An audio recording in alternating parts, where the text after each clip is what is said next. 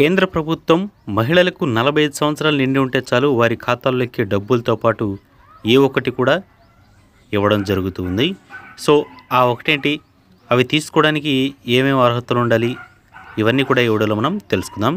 ఎవడైనా ఇస్తే లైక్ చేయండి వెంటనే ఛానల్ని సబ్స్క్రైబ్ చేసుకోండి. దేశవ్యాప్తంగా నలభై సంవత్సరాలు నిండిన ప్రతి మహిళకు కూడా మోడీ గారైతే మరో శుభవార్త అందించారు. ప్రతి ఒక్కరికి కూడా ఎంతో అవసరమైన ఈ ఒక్కటి కూడా మీకు తక్కువ ధరలోనే అందించబోతుందన్నమాట. అదే గ్యాస్ సిలిండర్. సో ఇప్పటి వరకు ప్రజెంట్ అయితే ఉజ్వల స్కీమ్లో ఉన్న ప్రతి ఒక్కరికి కూడా ఏడు వందల రూపాయలకే గ్యాస్ సిలిండర్ అనేది అందిస్తుంది కేంద్ర ప్రభుత్వం.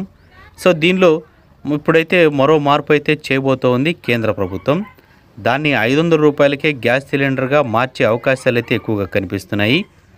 కొన్ని రాష్ట్రాల్లో మాత్రం ఐదు వందలకే గ్యాస్ సిలిండర్ ఇస్తాం టు అక్కడైతే హామీలు ఇవ్వడంతో అక్కడ బీజేపీ కాకుండా కాంగ్రెస్ ఇతర పార్టీలు అయితే తమ అధికారం చేజిక్కించుకున్నాయి. దీంతో కేంద్ర ప్రభుత్వం కూడా అలర్ట్ అయింది. దీన్ని ఇప్పుడు అన్ని రాష్ట్రాలకు అమలు చేసే ఐదు వందల రూపాయలకే గ్యాస్ సిలిండర్ను ప్రకటించబోతుంది. సో దీంతో దేశవ్యాప్తంగా ఐదు వందల రూపాయలకే గ్యాస్ సిలిండర్ విధానం అనేది అమల్లోకి వచ్చే అవకాశం అయితే ఎక్కువగా కనిపిస్తుంది. ప్రజెంటు ఉజ్వల స్కీమ్లో ఉన్న వారికి ఏడు వందల రూపాయలు ఇక నార్మల్గా తీసుకుంటున్న వారికి తొమ్మిది వందల యాభై రూపాయలుగా గ్యాస్ సిలిండర్ ధరలు అయితే ఉన్నాయి.